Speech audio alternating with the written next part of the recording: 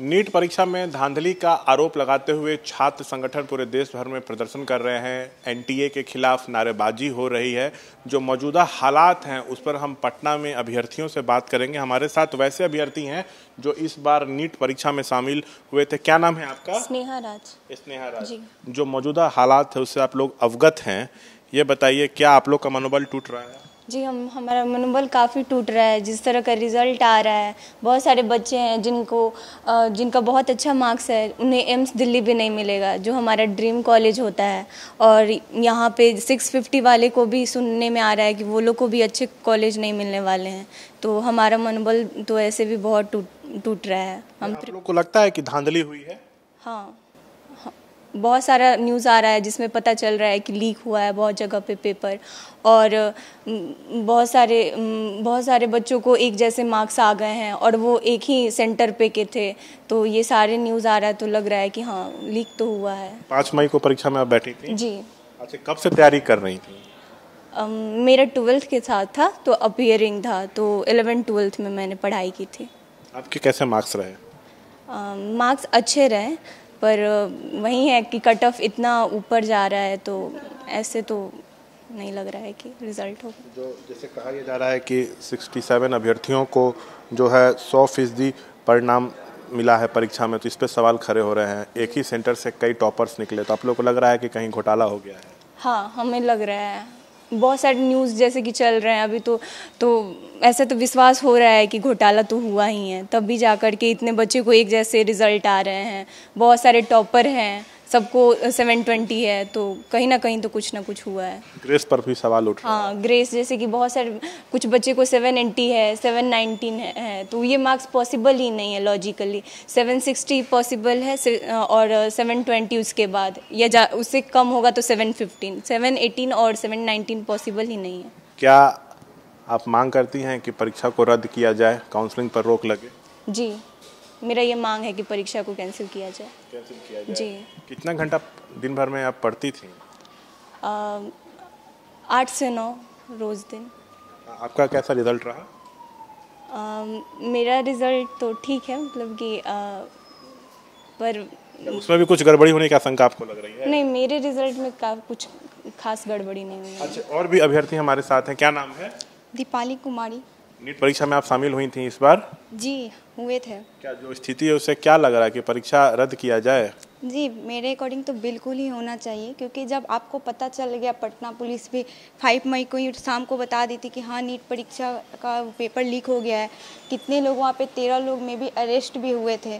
तो इस पर अभी तक कोई एन ने एक्शन भी नहीं लिया। अगर ऐसे ही चलता रहे तो आने वाले टाइम में अभी तो 67 बच्चे ही टॉप किए हैं 720 में 720 आने वाले समय में 200 हो सकते हैं।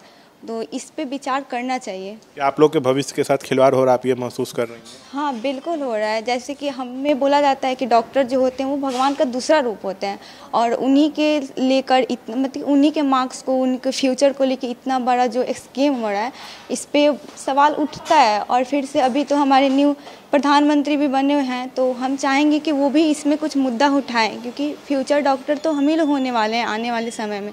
तो अगर अभी ग्रेस मार्क्स देकर पता चला है कि कुछ बच्चे जो होते हैं जिनको दो दो सौ नंबर का ग्रेस मिला है। ऐसे देखा जाए तो केमिस्ट्री क्या होता है? वन एटी का होता है फिजिक्स वन एटी का होता है।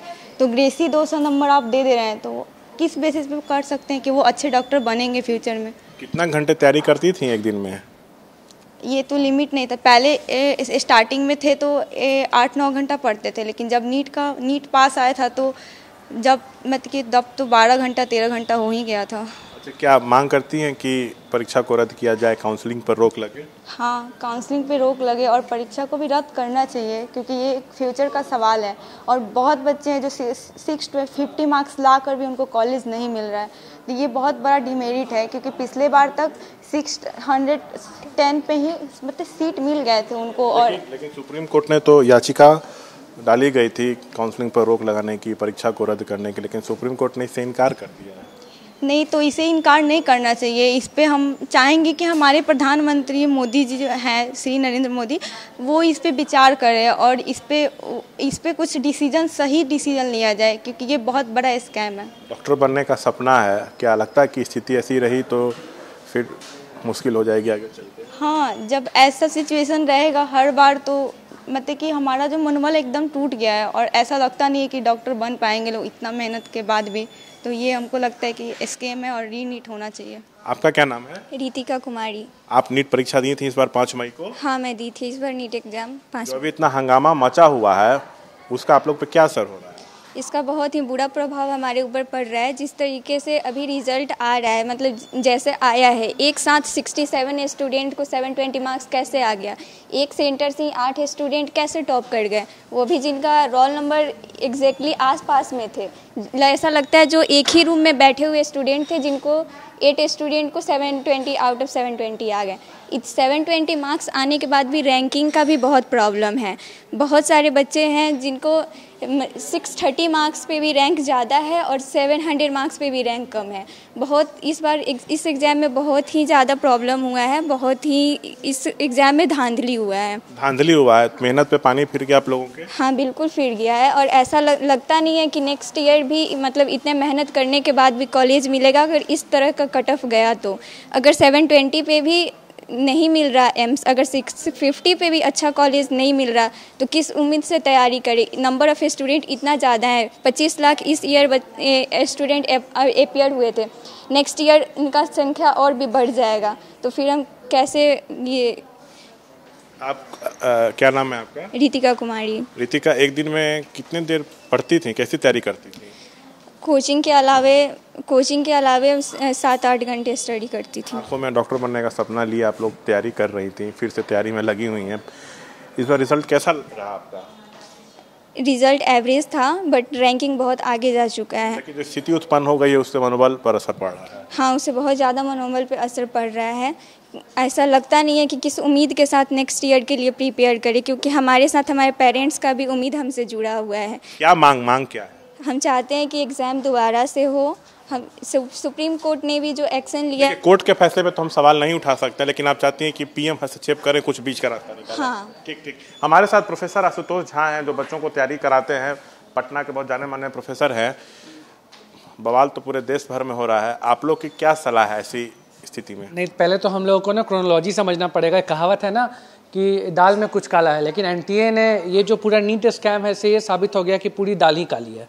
अगर हम लोग ना पीछे जाएँ, अगर पाँच मई की तरफ़ जाएँ, जिस दिन नीट का एग्ज़ाम था तो पटना पुलिस ने खुद ही जाँच पड़ताल करके ये सबूतों के साथ पेश कर दिया था, जो हमारे एसएसपी हैं राजीव मिश्रा जी, कि पेपर लीक हुआ है। चार मई को ही कुछ संदिग्धों ने पेपर बहुत सारे बच्चों को भेज दिया था। तो पहला मुद्दा ये है। फिर जब रिज़ल्ट आया, तब जो मन मुताबिक रिज़ल्ट होना चाहिए बच्चों के, वो नहीं रहा और देखा गया कि 67 बच्चों को फुल मार्क्स आया।